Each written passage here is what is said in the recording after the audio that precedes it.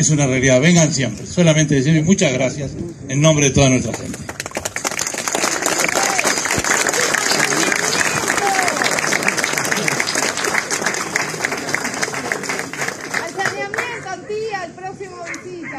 Seguidamente se dirigirá a los presentes el presidente de ACE, doctor Leonardo Cipriano.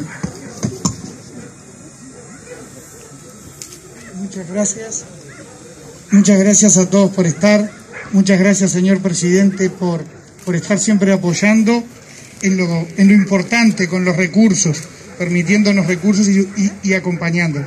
Secretario de la Presidencia, Álvaro Delgado, de la misma manera ministro de Salud Pública, Daniel Salinas, un compañero de trabajo. Eh, intendente, gracias por recibirnos en, su departamento y gracias a, todos ustedes por estar. Y gracias a los usuarios de ASE.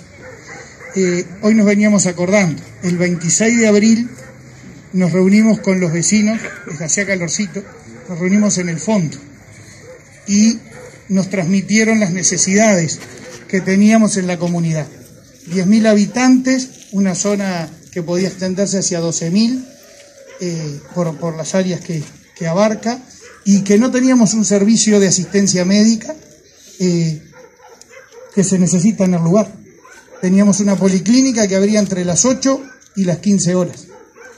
En un primer esfuerzo la hicimos abrir hasta las 18 y ahí hablando y llegamos a la conclusión de cuáles eran las necesidades. Y las necesidades es el tener una puerta de urgencia con un médico presencial y enfermería las 24 horas, los 365 días del año, para atender a la población de la capoeira. Y a la vez...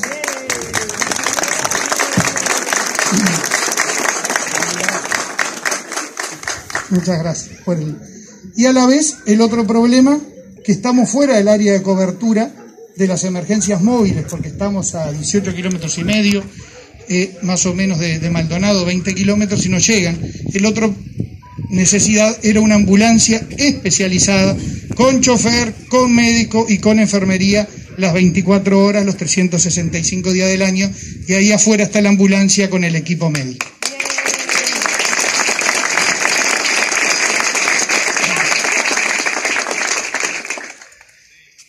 En salud las necesidades son urgentes, hay que resolverlas en el momento. Esta es una policlínica chica en realidad, que nos va a llevar una obra, que ya está aquí la arquitecta, que esta obra ya está en las etapas de planificación y se comienza ahora a trabajar rápidamente, en el cual vamos a agregar eh, consultorios hacia el fondo, vienen un par de consultorios más, vamos a hacer consultorio solo para pediatría, vamos a hacer los cuartos médicos, porque los médicos tienen que estar aquí, y también vamos a ubicar aquí mismo eh, el equipo de SAME 105 cosa de que esta policlínica continuamente va a tener dos médicos especializados en emergencias y en urgencias y van a tener doble personal de enfermería y de esa manera vamos a maximizar los recursos que necesiten. Hoy, eh, eh, gente de acá me preguntaba que son prestadores del sistema privado. Nosotros tenemos que transmitirles hoy que nosotros, el objetivo nuestro acá, el que se venga a atender, no va a ser preguntarle si es o no socio de ASA. Después las partes administrativas de las instituciones nos vamos a arreglar. Pero lo primero acá va a ser la atención de la gente y de las personas que los necesiten. A que sí que todo vecino de la capoeira o gente que esté pasando por el lugar y tiene una necesidad de salud, ya sabe que acá tiene un puesto de atención.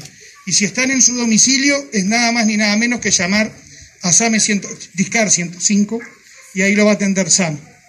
Que SAME ahora está atendiendo y está atendiendo en un tiempo de duración nada más ni nada menos que de un minuto. ¿Se acuerdan que hace un poquitos días se nos estaba, teníamos problema en que no se atendía el teléfono de SAME y era real? Y ahí tenemos que pedir disculpas por ese año hacia atrás que tuvimos de esos atrasos que se nos saturó ahora en el último momento, pero eso se debió a que teníamos líneas analógicas, había solo ocho líneas analógicas de teléfono. Ahora, gracias a un convenio que hicimos con Antel, apoyándonos en, lo público público, aumentamos, tenemos centrales digitales con más de 50 puntos de atención y no tenemos atraso ni cola en las llamadas de SAME, lo cual quiero agradecer muchísimo al equipo de SAME, porque de esta manera la atención está demorando un minuto 08 y prácticamente con cero atraso. O sea que es solo llamar ahí.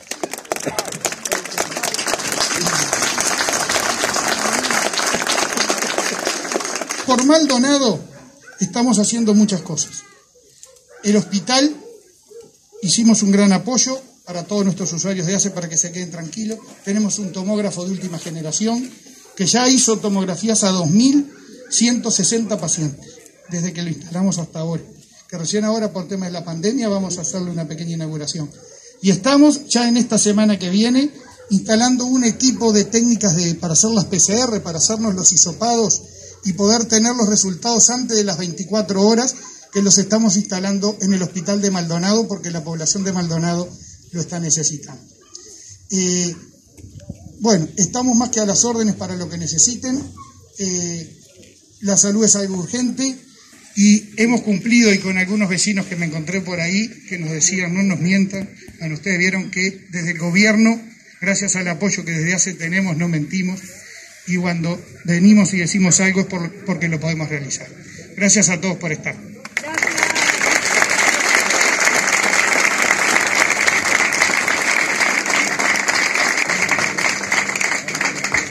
Y cerrando la parte oratoria, estamos invitando al señor presidente de la República, doctor Luis Lacalle Pou.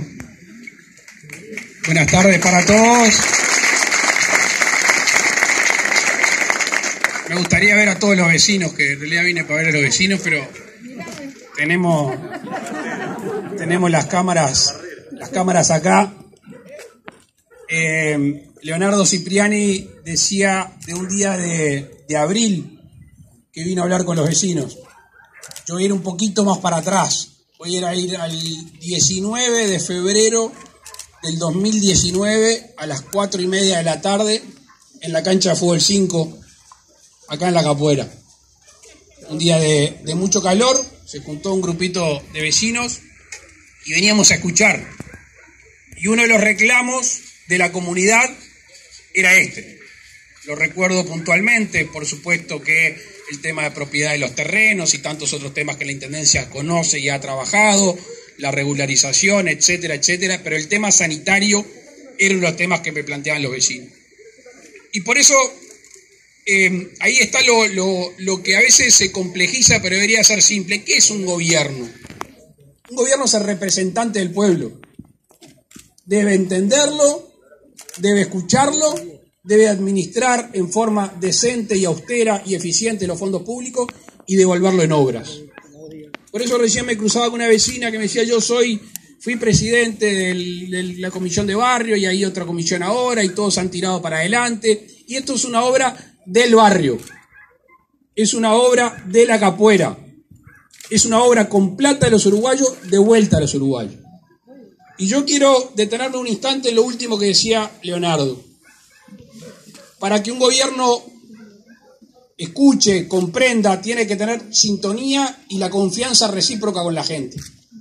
Y le voy a hacer una anécdota, Álvaro Delgado la conoce y está aburrido escucharla, pero a mí siempre me vuelve a la, a la mente. El 6 de febrero del 2019, a las 11 de la mañana, en un paraje que se llama Blanquillo, el departamento de Durazno, también hacía mucho calor, yo estaba arriba de una silla, yo estaba hablando con unos vecinos y había una señora, una rubia, que me miraba así, claro gesto de desconfianza. Y cuando terminé, me apuntó directo. La señora vino, se me paró, yo la miré. Dije, todo muy bonito, me dijo, todo muy lindo. Ahora, ¿usted va a volver a Blanquillo? Y la persona tenía razón. Es lo mismo que me pasó, podría haber pasado acá el 19 de febrero de ese mismo año. Y yo le dije a la mujer, escúcheme una cosa, si un candidato a presidente en plena campaña electoral viene un vecino y le pregunta si usted va a volver, ¿qué le va a contestar el candidato? Y la mujer me dice, y me va a contestar que sí. ¿Y usted le creería? No, me dijo. Bueno, entonces ¿para qué me pregunta? Y, se trata justamente, se trata de la confianza. Se trata, se trata de escuchar, se trata de comprender, se trata de administrar y se trata de volverlos en obra. Y hoy es en la capuera como va a ser en muchos lugares del departamento Maldonado. Tenemos muchos proyectos en Maldonado que hablan de la salud, pero que también hablan del trabajo, que también hablan del laburo. Este departamento está hecho con gente que peregrinó de todo el país a hacer su vida y tratar de sostener a su familia. Y tiene esa, eh, esa mezcla tan linda de lo mejor del país que vino a Maldonado a echarle el hombro y nosotros tenemos un compromiso en este lugar, que es uno de los lugares más lindos del país, tratar de traer inversiones, dar facilidades y generar trabajo para la gente que vive en el departamento de Maldonado. Ese es el compromiso nuestro, así como el 19 de febrero se lo dijimos aquí en La Capuera, hoy se lo repetimos un 10 de junio, que en breve con Enrique estaremos anunciando inversiones importantes para el departamento para que la gente pueda llevar un plato de comida a su casa y sostener a su familia. Muchas gracias.